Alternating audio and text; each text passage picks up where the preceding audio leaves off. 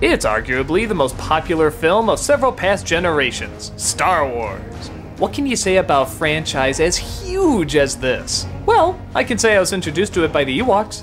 Yep, the Ewoks cartoon is what got me into watching these movies. Actually, even that's not even true. The Ewoks cartoon got me into watching the Ewoks movies that went to TV, then that got me into watching the actual movies. The reason I bring this up is that I didn't really have much hype for it. Nobody said this is a cinematic masterpiece, it's one of the greatest movies ever made, it's phenomenal. Granted, I did see images from it all over the place, but for the most part, I discovered it myself.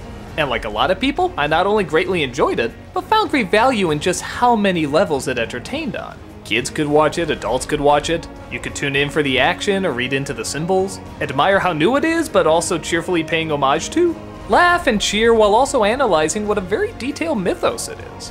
The story, as I'm assuming most of you know, is about an evil empire that's taken over the galaxy and wants to finish off the last of the rebellion. A rebel spy named Princess Leia hides the plans to destroy their newest weapon called the Death Star with two droids named R2D2 and C3PO. They come across a farm boy named Luke and a magical hermit named Obi-Wan. They realize they have to get these plans to the rebels, so they come across a pilot named Han Solo and Chewbacca. On their way, they get snagged by the evil Empire led by the sinister Darth Vader, and end up trying to rescue the princess while also destroying the evil weapon before it destroys them. Okay, so what can I say about this film that everybody hasn't said before? Well, for one, it's not perfect. Which I know doesn't sound shocking nowadays, but for a time before the internet, that was something you almost never said.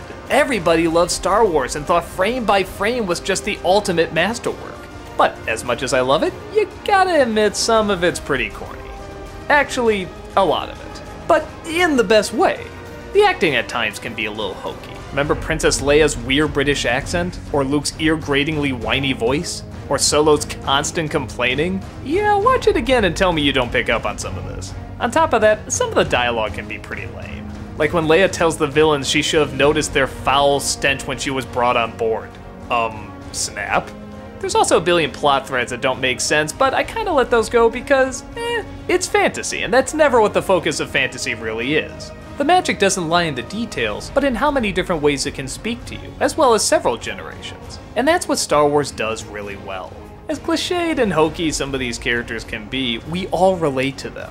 The wide-eyed Luke Skywalker, the cynical Han Solo, the wise Master Teacher, the villain with a past. It really is clever in how much it takes from certain stories. From fairy tales to folklore to Kurosawa to Stanley Kubrick, and even Flash Gordon. In fact, a lot from Flash Gordon.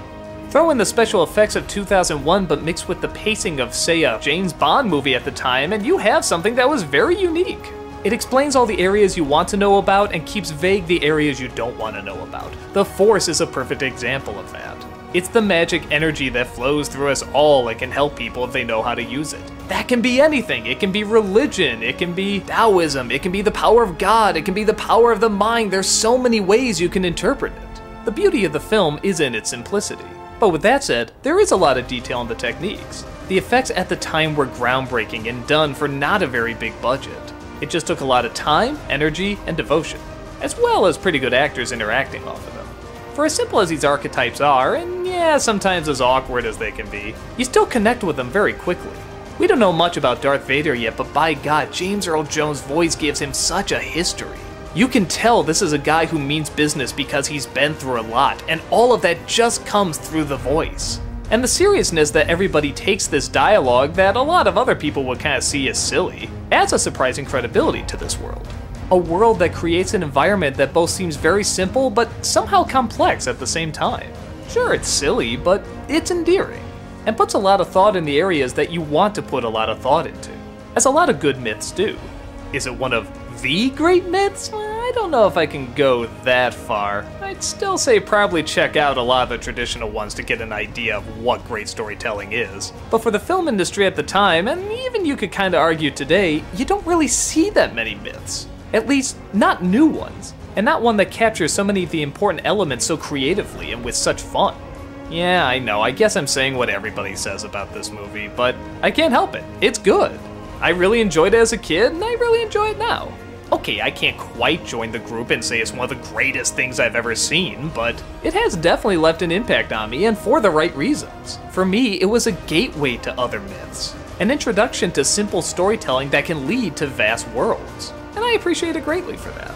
I see its flaws, but the stuff that's good is just too clever to overlook.